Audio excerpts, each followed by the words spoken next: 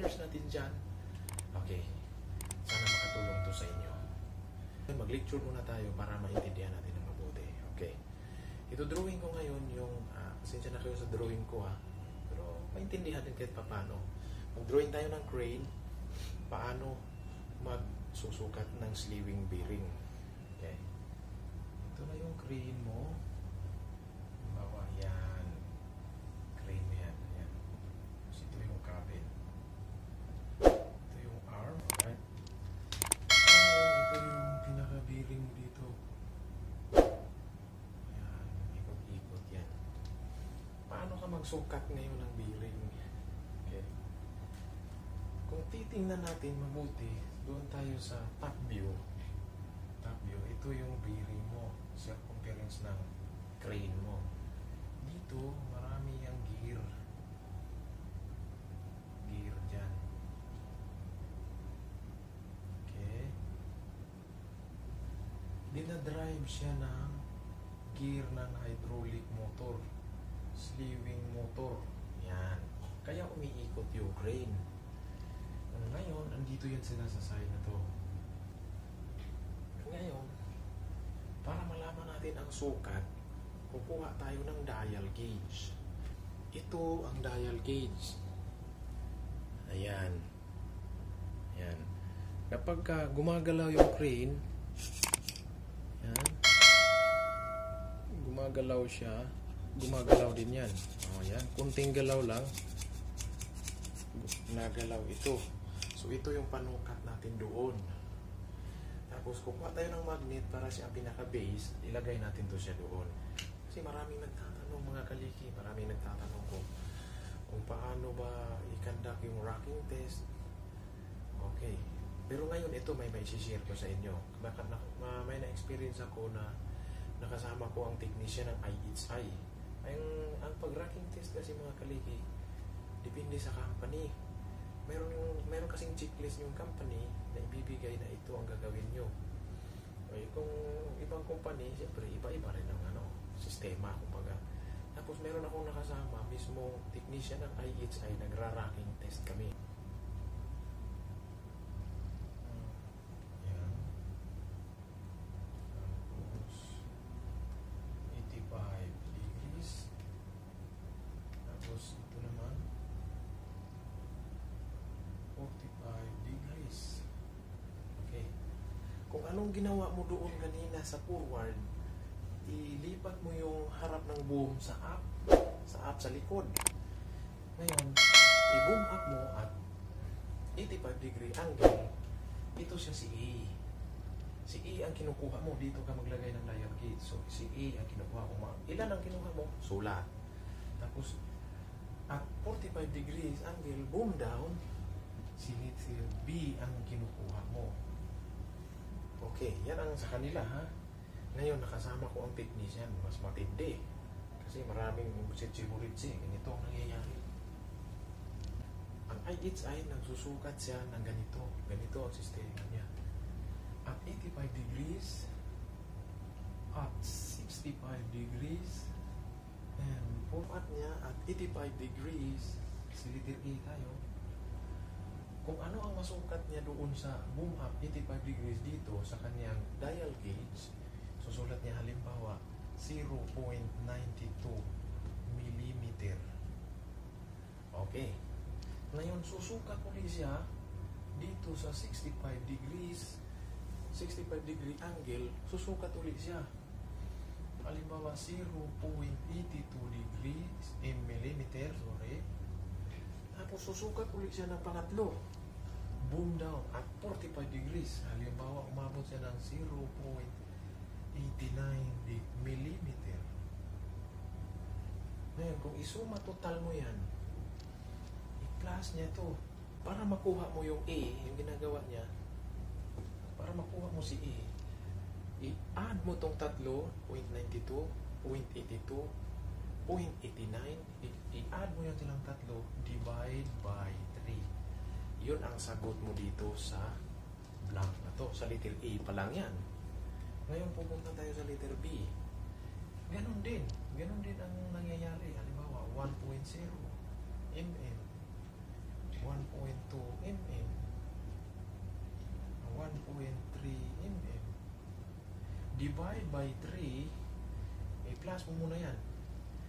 I-add, add, then divide by 3. Yun ang sagot mo sa letter B. Yun ang kuha mo na reading sa B. Okay. So, ganun mga kaliki. Kung anong nakuha mo dito sa up, pag lipat mo sa kabila, sa forward, ganun din. Tatlo ang kukunin mo. Ha? Sa IHI technician yan. Pero sa company ko, iba.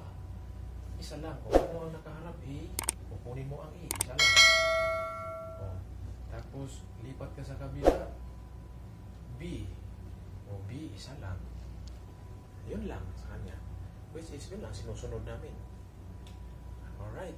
So sana may natutunan dito sa lecture natin. Munting lecture lang to. Pero kahit pa paano, sa mga beginners, masundan nyo ito. Ngayon, ang susunod, ipapakita ko sa inyo yung actual na reading namin doon. Pupuntahan natin. Okay?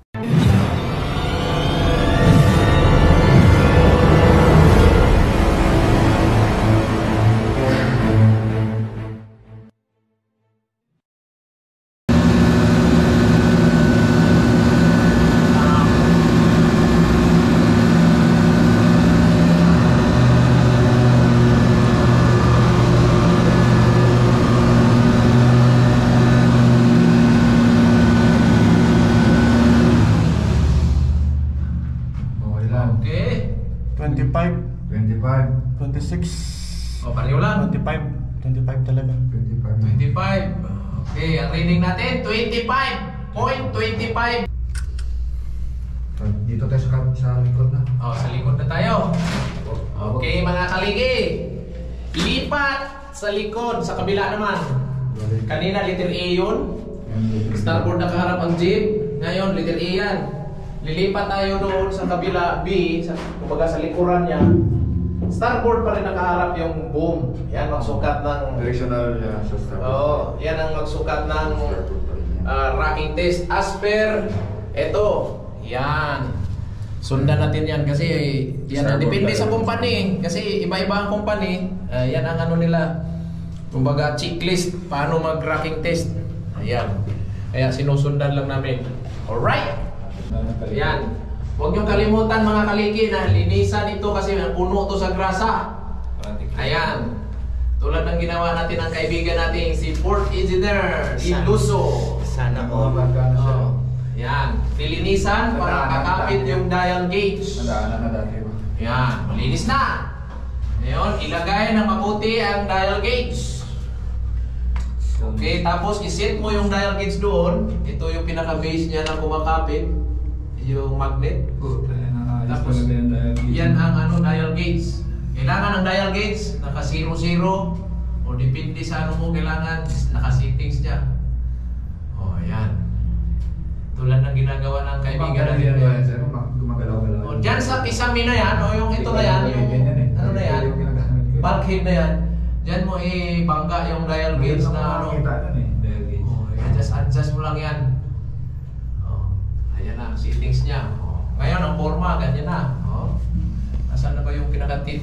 Tungkoy-tungkoy niya doon sa taas. Yan, kita. Yan. Boom, ano na? Ano na kano to ngayon? Sa ano? Anong posisyon ng bomb? Okay, nasa taas. Maximum boom down! Maximum boom down. Ah, ay, sandali lang. Ay, hindi pa lang kalini yung kaibigan natin. Picture pa, picture.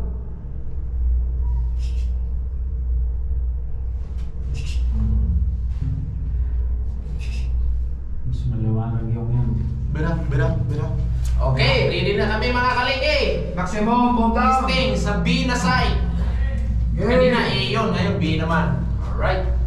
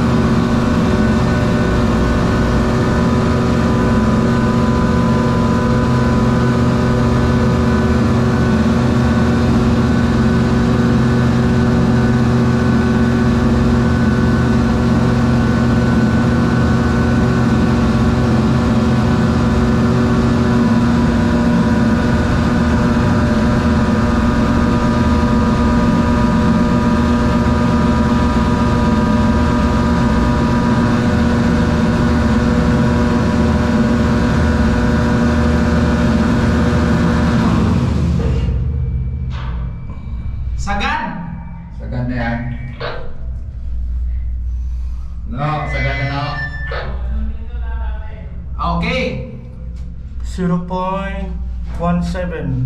Okay. Mark, mark. 0.17 millimeter. Tingnan mo muna yung po- posisyon, kung nasaan yung posisyon ngayon ng crane. Oh, ayan, tulad yan, may marka. Up. Nasa up tier. Tapos ikot tayo dito sa kabila. Ito yung opposite side niya. Forward. Si forward. Tapos dito sa kabila naman. Oh, yan. Yan si starboard side. Ikot nila at atras man to. Yan, starboard side. Diyan tayo magsukat for starboard side. Pwede rin yan. Siguro, Okay. dito pa yan siguro dito. Oh, matapat na sir. Dito sa kabila. Dito? Ayan na lang. Sige, sige, sige. Oh, sir, sir. po, sir. Nandyan si port side. Yan. Okay? Okay. Kahit